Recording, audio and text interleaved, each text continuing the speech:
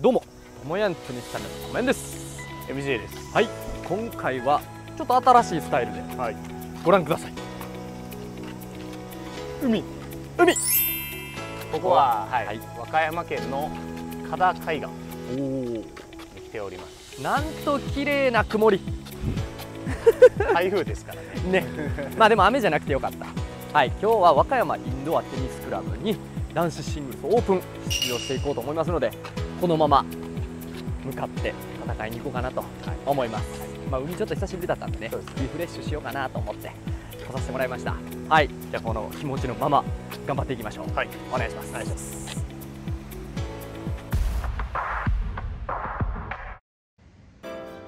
はい。始まりました。はい。和歌山インドアテニススクール。はい。オープン男子シングルスということでりがとうござい。はい、出場させてもらいました、まはい。はい。まあ、近場といえば近場ですが、遠征ですね。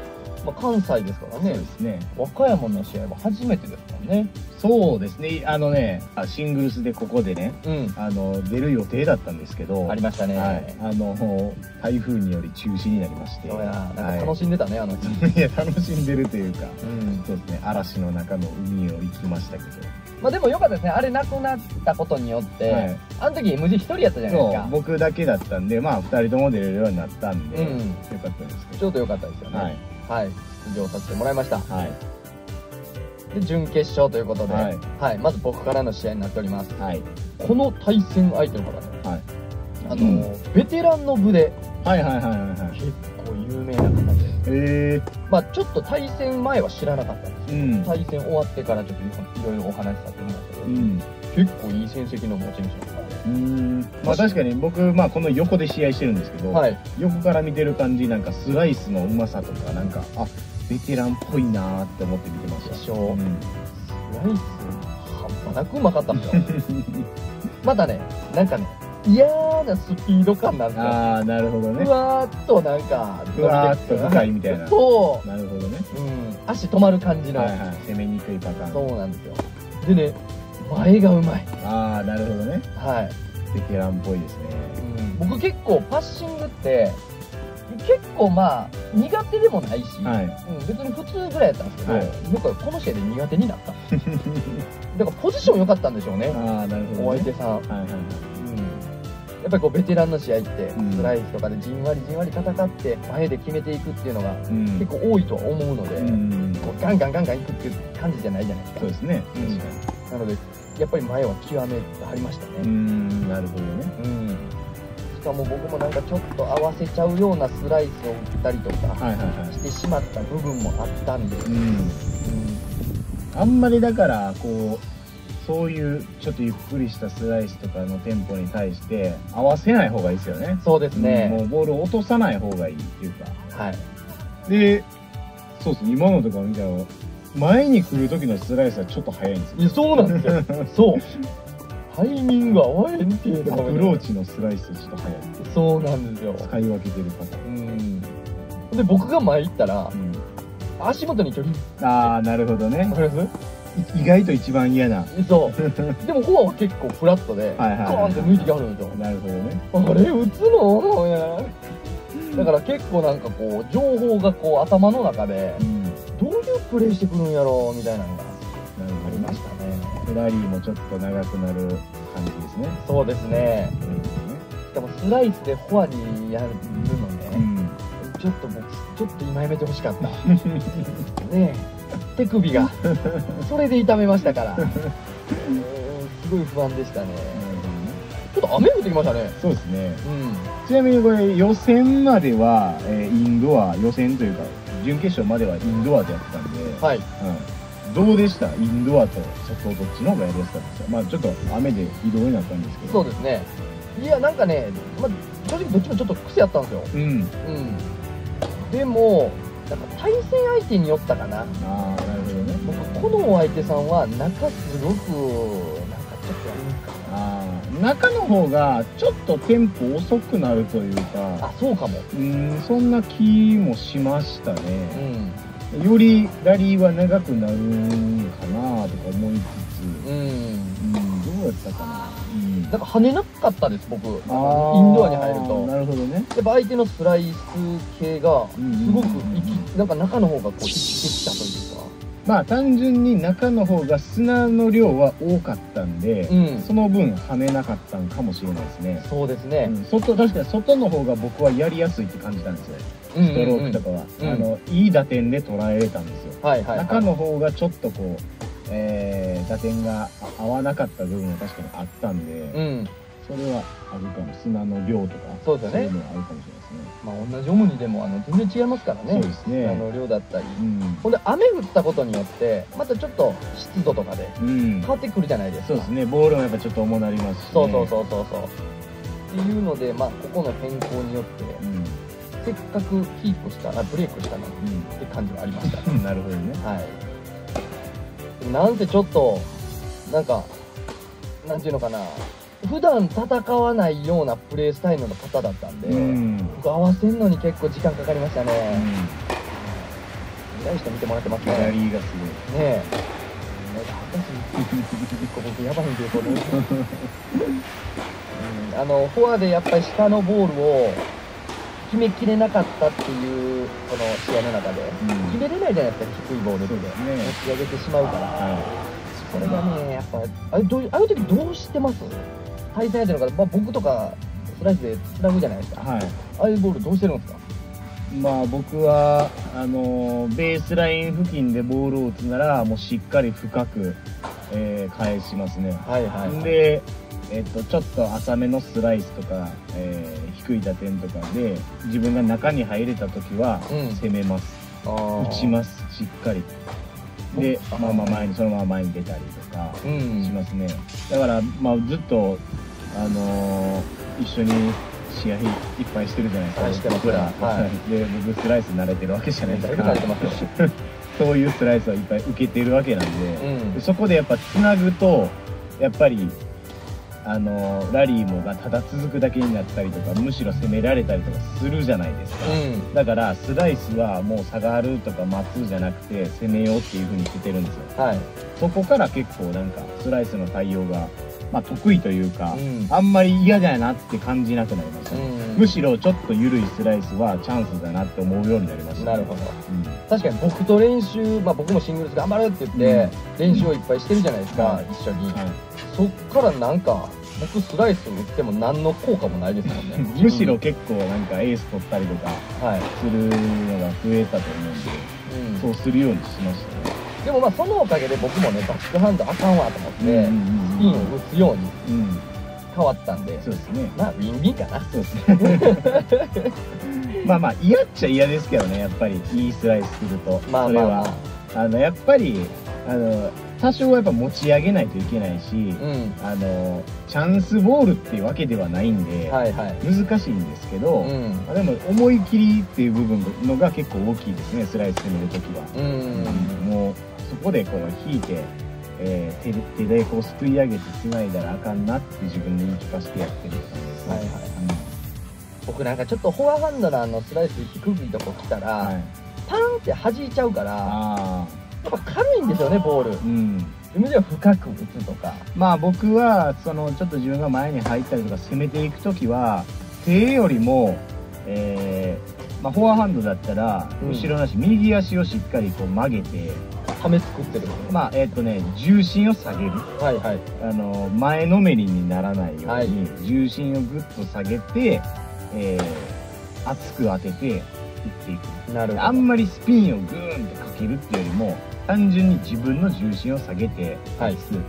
あの打ち込んでいくみたいな感じの打ち方をしたら結構うまくいく、そういうことねだから後ろの足をパクンスッスッとこう落としたらうん。姿勢まっすぐのままはい。重心を落とせるじゃないですか、はい。前の足に体重をギューって乗せたら前傾姿勢になるじゃないですか、うん。そうなっちゃうとやっぱ手首でこうスピンかけざるを得なくなるじゃないですか、ね。うん、それをやってしまうと弾道上がるし、うん。ミスったりしたら相手の思うツボなんで、そうやね。うん、って感じですね。まあこの試合ね僕はもうあいお相手さんばっかやっぱスライスも多いっていうので、うん前に出る機会もやっぱ伸びてくるんでボールが、うん。前に出にくいっていうのもちょっと自分の中でストレスを感じてましたね、はいはいはいはい。うん、結構出ても、まあ、決まるポイントもあれば、やっぱりミスするポイントもあるんですけどなんか気持ちよく出れてない、うんなるほどね。うん、だから気持ちよく前でポイントを取るっていうのはやっぱりサービスダッシュをするとか。うん。っていうのは OK だったんですけどラリーの中で前に出るっていう機会が少なかったのかなと思います。ね、確かに前に出てなんかこうパパーンって抜かれたらしゃあないって感じますけど、うん。変に足元でこうボレースト続いて点取られるのなんか悩ますもんそうなんですよ、なまあまあ僕はねサーブがあるんで、うん。最終的にはサービスで結構押していけたっていうのが僕はこの試合で、えー、6-4という数で勝てたのかなと思います。はい、はい、ありがとうございます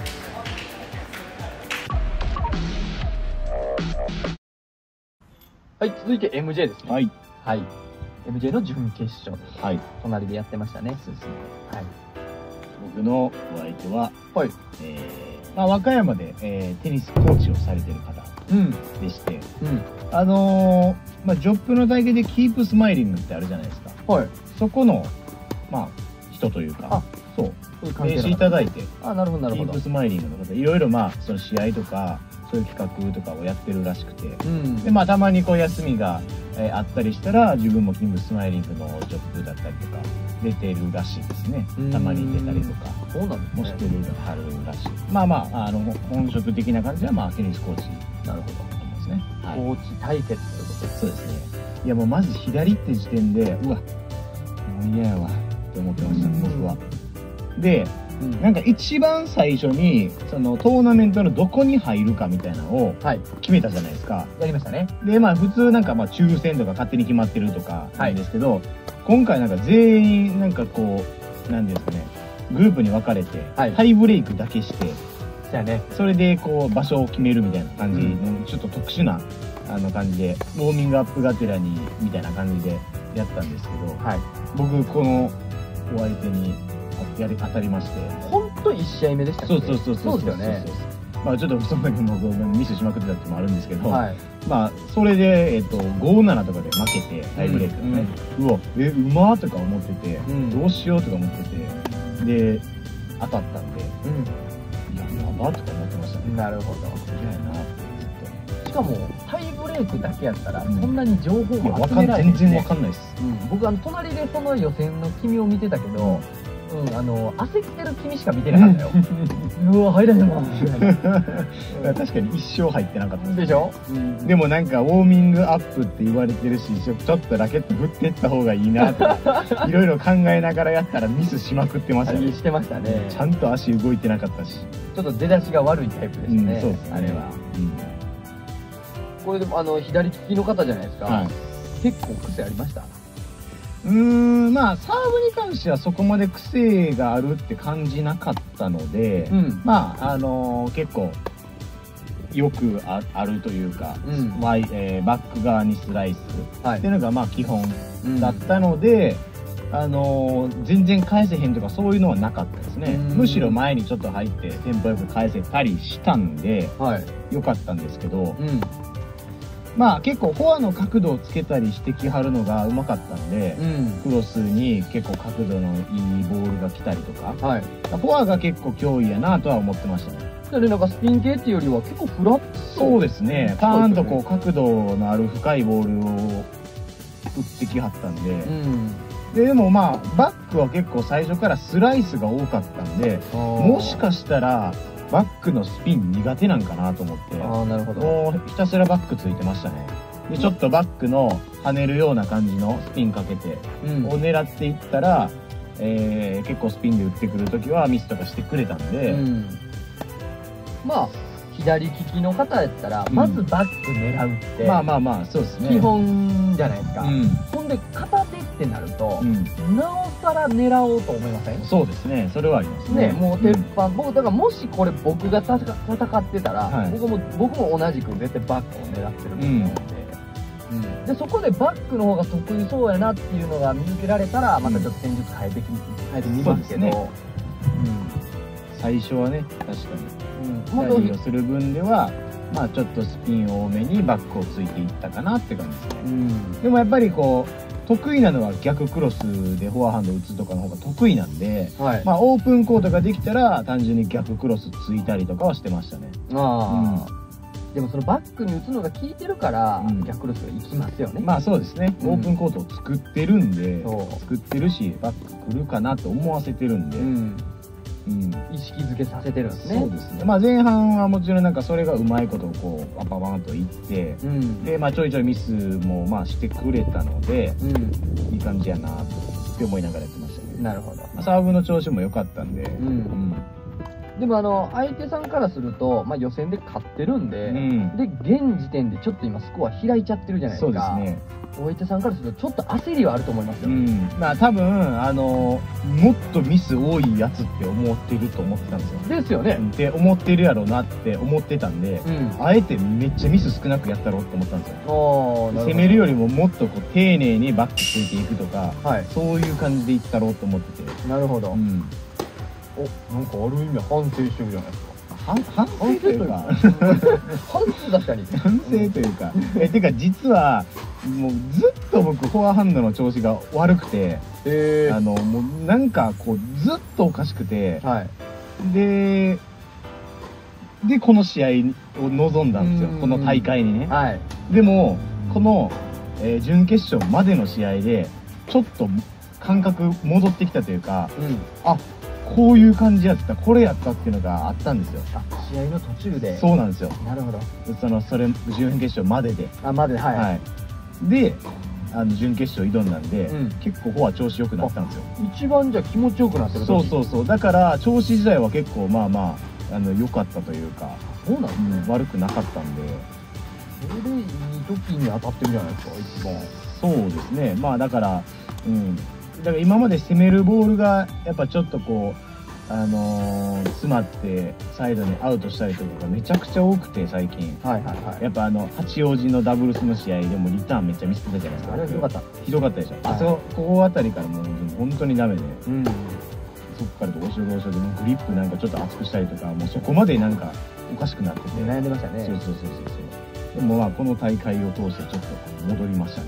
うんうんな何が差やった？の何何の差なの？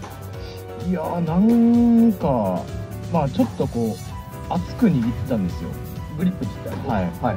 それがダメでしいや何回も聞いたことあるそのパターン。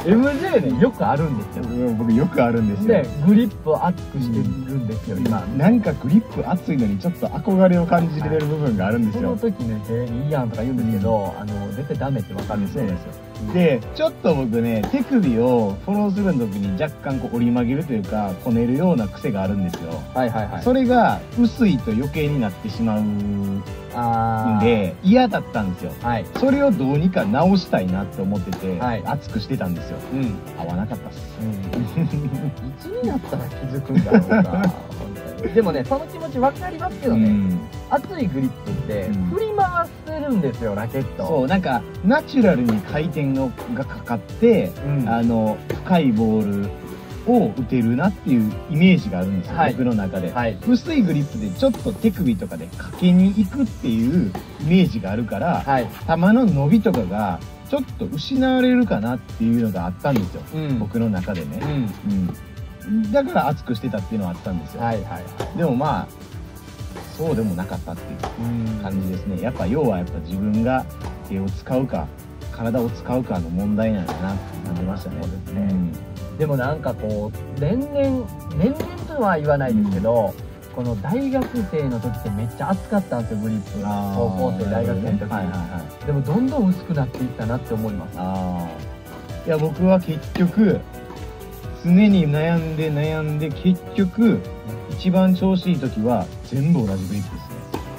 全部同じグリップ全部調子いい時は昔から全部一緒のグリップに戻ります。なるほど。でもまた迷走するんですよ。でまた熱くなってみたいそうなんですよ。なぜか。えなんで学習できるん意外と僕結構プロとかに影響されたりしやすいんで、えでもねそういうな、はい。その熱いグリップで、はい。